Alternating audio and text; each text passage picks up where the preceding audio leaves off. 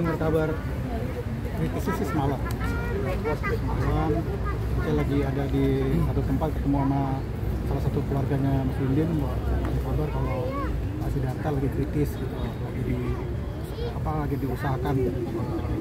Pakai alat kaki jantung. Men, eh, saya udah feeling sih kayaknya nggak lama lagi gitu karena udah di, di, dikasih tahu sama keluarganya Mas Lindin balik dari satu tempat itu ke rumah perjalanan udah meninggal saya langsung semalam. Baik mas, eh, ada mungkin mas Bim Bim dan keluarga cerita almarhum sebelumnya mungkin ada tahu infonya. ya sebenarnya eh,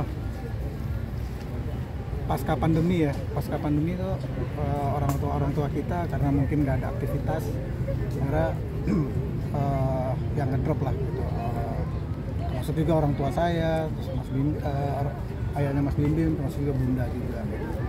Eh, terus yang lebih lebih eh, agak mengkhawatirkan sih emang ayahnya mas Bim Bim ini gitu. Akhirnya ya sudah udah ada dua tahun terakhir ya. Dua tahun terakhir sakit sakit sempat sempat eh, kritis tahun lalu terus bisa survive. Akhirnya ya hari ini beliau udah pulang. Almarhum mungkin di balik besaran slang sendiri gimana sih? Peran beliau di slang sendiri.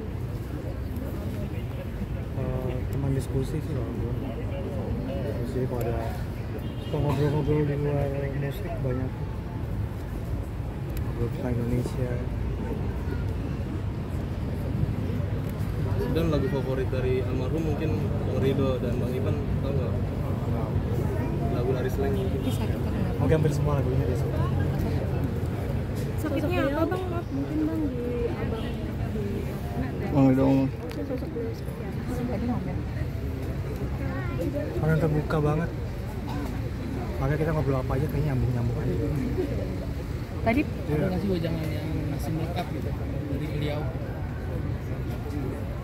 spesifik sih nggak ada tapi yang pasti eh, di belak di belakang kegiatan kita selain yang terlihat bahwa ada ada sosok bunda ya eh, Pak Ade Mamang tuh memang sangat support untuk kegiatan kita. Terus apalagi waktu pas eh, saya Mas Bimbi sama kakak kita rehabilitasi narkoba beliau sangat support banget.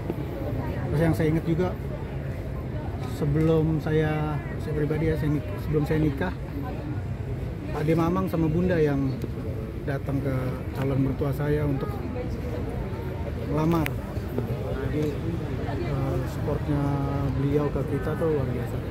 Kita kita anggap dia jadi orang tua saya ayah saya juga. Mungkin pesan atau wejangan yang sering beliau, beliau katakan wejangan.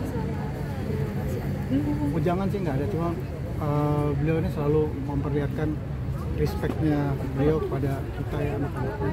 Sangat respect, eh, sangat hormat gitu. Jadi itu jadi jadi contoh buat buat kita juga untuk eh, meneladani sikap-sikap yang baik beliau. Almarhum belakangan ini masih sering ikut apa nonton manggung nggak sih? Bang?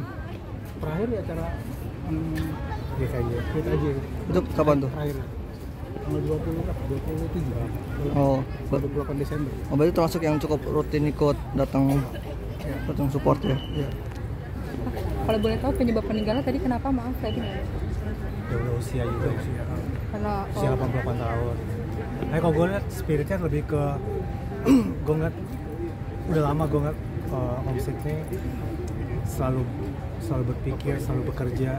Itu yang jadi motivasi gue bahwa selama kita masih tenaga tetap berpikir tetap bekerja tetap berkarya. Itu kayak message yang enggak yang enggak terucap dari beliau tapi yang gue rasa karena sampai sampai terakhir masih keluar Hmm. kota keluar kota. Keluar kota. Umur umur 80 tahun tuh masih kerja? Masih kerja?